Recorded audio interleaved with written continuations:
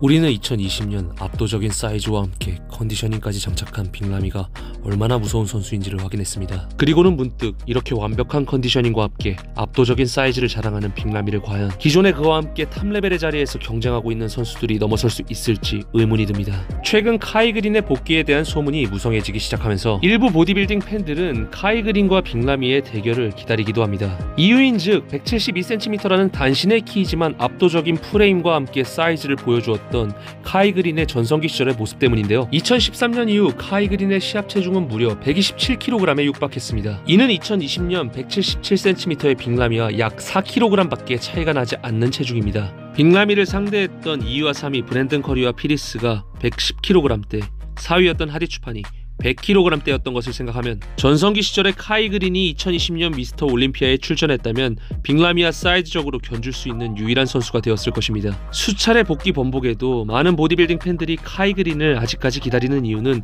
그의 캐릭터성도 있지만 그가 사이즈적으로 보았을 때 현재의 미스터 올림피아에서 빅라미를 상대할 수 있는 유일한 선수이기 때문입니다. 오늘은 2013년 시즌 카이 그린이 가장 컸던 해와 2020년 미스터 올림피아 챔피언이었던 빅라미를 비교 분석하겠습니다. 먼저 두 선수의 신장과 체중을 다시 한번 말씀드리겠습니다. 2013년 미스터 올림피아에서의 카이 그린은 172cm의 키에 시합 체중이 127kg이었습니다. 2020년의 빅라미는 177cm의 키에 시합 체중이 131kg이었습니다. 두 선수는 5cm의 신장 차이 차이와 4kg의 체중 차이를 보이고 있습니다. 압도적인 대퇴사두의 크기로 충격적인 모습을 보여주었던 빅라미지만 카이 그린의 옆에서는 평균적인 모습을 보여주고 있습니다. 짧고 두꺼운 코어로 인해서 자칫하면 둔탁한 모습을 보일 수 있는 카이 그린이지만 전면에서 펼쳐지는 등 근육이 굉장히 넓기 때문에 빅라미와 같은 X taper로서의 모습을 훌륭하게 소화하고 있습니다. 두 선수 모두 훌륭하게 솟아오른 이두근과 함께 전체적인 다이어트의 강도를 날카롭게 뽑아낸 모습을 보여주고 있습니다. 필 히스 옆에 섰던 카이 그린의 넓은 프레임은 그의 볼륨 볼륨감 앞에 오히려 독으로 작용했습니다. 하지만 그 어떤 올림피아 선수들보다도 넓은 어깨 프레임을 자랑하는 빅라미 옆에서도 카이 그린의 프레임은 전혀 좁지 않은 듯한 모습을 보여주고 있습니다. 하지만 카이의 강점으로 보기 힘들었던 가슴 볼륨감과 어깨 사이즈가 빅라미에 비해서 모자란 모습을 보이고 있습니다. side chest 포즈입니다. 측면 하체의 두께감에서 그 어떠한 선수도 압도해버리는 빅라미지만 카이 그린은 빅라미와 상대할 수 있는 측면 하체의 두께감을 보여주고 있습니다. 하지만 힙의 스트레칭으로 유발된 빅라미의 둔근의 강도는 카이 그린에게선 보여지지 않는 수준 수준입니다. 상체에서는 빅라미가 승모근과 가슴 볼륨감, 어깨 사이즈 면에서 카이 그린보다 우세한 모습을 보여주고 있습니다. 또한 side chest 포즈 시 카이 그린은 손으로 가렸지만 복부를 전혀 컨트롤하고 있지 않은 모습으로 인해서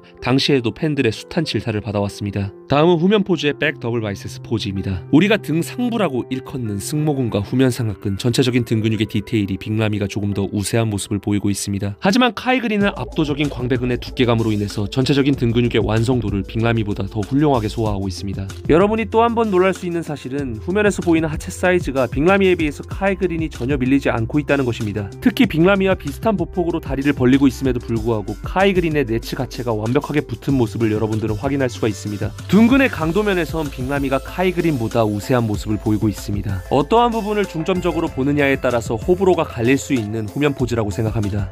다음은 back lat spread 포즈입니다. 마찬가지로 등 상단부에 해당되는 승모근과 어깨 후면 근육, 대원근이 발달한 빅라미 빅라미가 카이 그린에 비해서 넓은 프레임을 잘 펼치고 있는 듯한 모습입니다. 광배근의 두께감으로 인한 등 근육의 완성도가 비교적 덜 노출되는 이 포즈에서 빅라미가 압도적으로 넓은 프레임과 함께 둔근의 강도를 잘 보여주고 있어 카이 그린보다 우세하다고 생각합니다.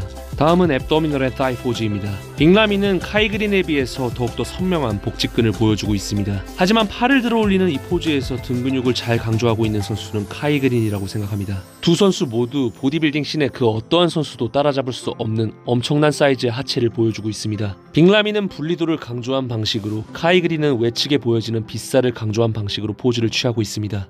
두 선수 모두 두 선수가 가지고 있는 넓은 어깨 프레임을 보여줄 수 있는 muscular 포즈를 취하고 있습니다.